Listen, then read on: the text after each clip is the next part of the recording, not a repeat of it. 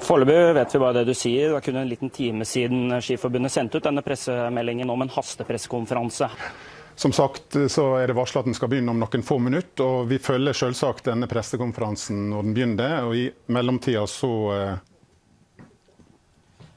Ja, som vi sa i stad, så er det altså Martin Jonsrud Sundby det gjelder. Og han er eh, har brukt ulovlig astmamedisin. Han søkte ikke fritak for bruk av medisinen sin, og mister Tour de Ski-seieren i 2015. Det skal være sånn at han har brukt på to etapper har brukt medisin som han ikke har lov til. har brukt nødvendig og lovlig Skatt vår kollega i Honningsvåg. Kommunen fikk nok å henge fingrene i.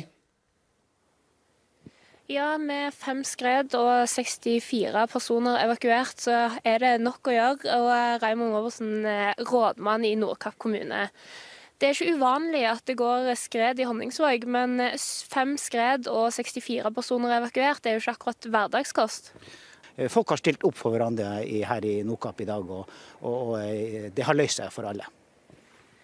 Ja, og nå er det jo egentlig bare å vente og se. Det forventes 25-30 cm snø i løpet av natta, så vi får følge med videre.